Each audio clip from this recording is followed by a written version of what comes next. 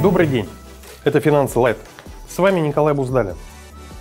Когда у человека весь заработок уходит на оплату питания и крыши над головой, его труд больше не является процессом экономического развития и становится актом выживания, который на самом деле называется рабство.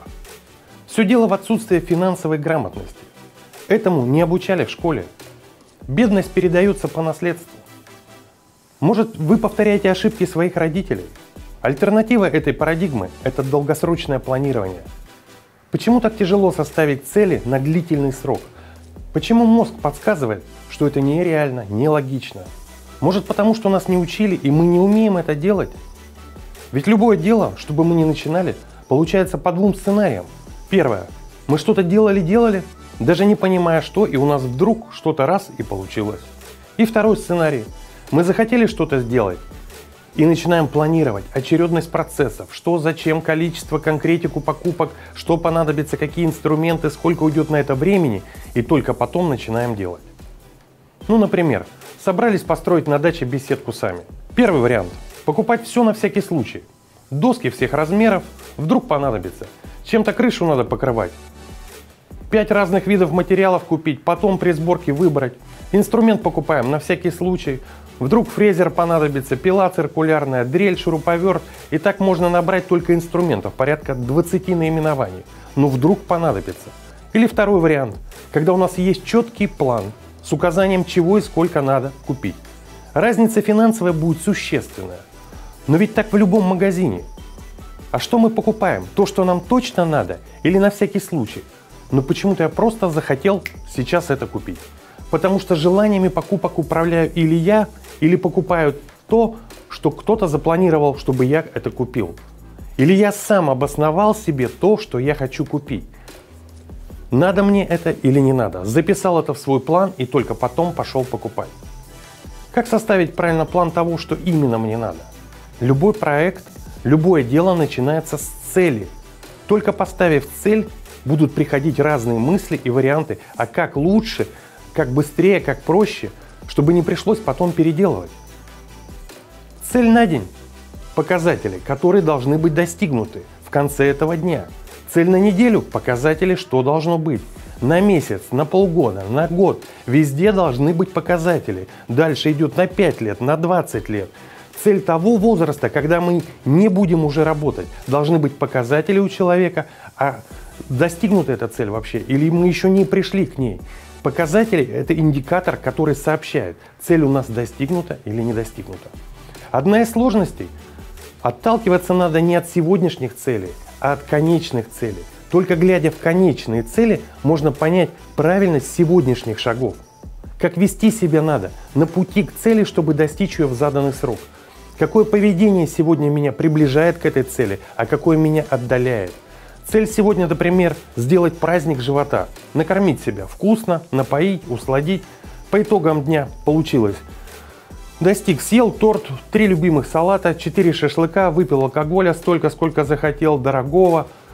В общем, цель достигнута, но посмотреть дальше, в цель на три месяца. Я хотел сделать себе спортивную фигуру. А вчера добавилось полтора килограмма. Убито полторы тысячи мозговых клеток. Жизнь сократил себе на 40 дней. Но зато вчера было здорово. В семье надо выбрать директора стратегического планирования. Дети должны быть у нас замами. У них мозг светлее и порой подсказывают очень эффективно.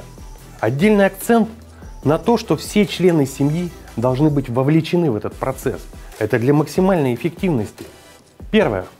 Цели, покупки, желания – то, что должно быть в конце периодов. Результат. Второе.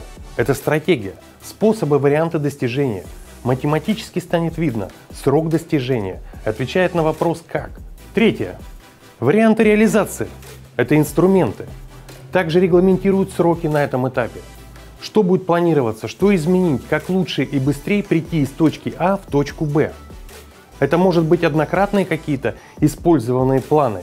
Это то, что будет делаться с акцентом на результат, на текущие моменты, привычки, которые циклично повторяются – который мешает, может выйти на новый уровень. Может быть это то, что мы продолжаем делать и тратить на необходимость, на все, что мы учитываем. Или можно придумать программы, установки, которые будут решать текущие проблемы. или многократного использования задачи. Здесь будет акцент на эффективность и устойчивость. Но устойчивость может придумать кодекс в семье, устав, политику финансовую рассмотреть, регламенты, процессы, системы, процедуры. Там очень много чего можно придумать в семье, что поможет в реализации достижения этих целей.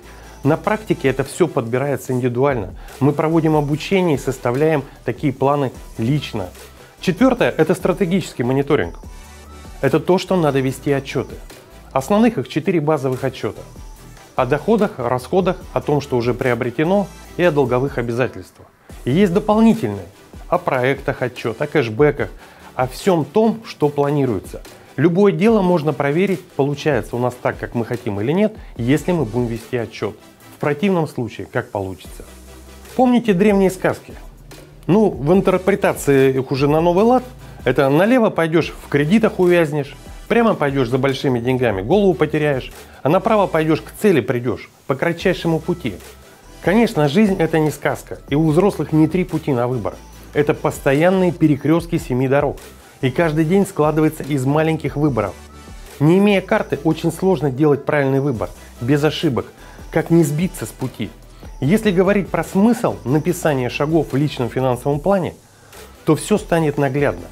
Смысл прописывания целей – это будет достигнуты эти цели в заданные сроки или нет. Смысл прописывания стратегии – он позволит генерировать новые подходы, свежие идеи, оригинальные преимущества в зависимости от изменяемых условий на рынке или ситуации в стране.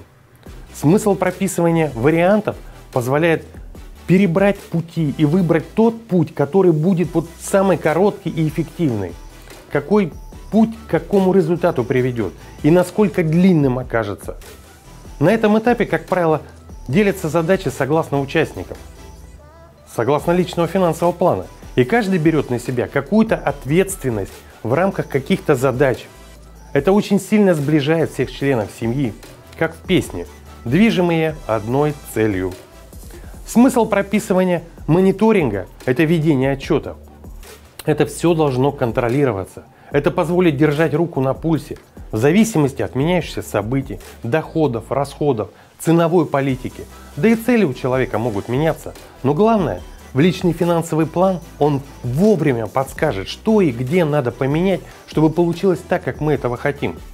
А смысл всего этого порядка – это долгосрочное планирование – его часто путают со стратегическим планированием. И даже часто занимаются стратегическим планированием, не имея долгосрочных планов.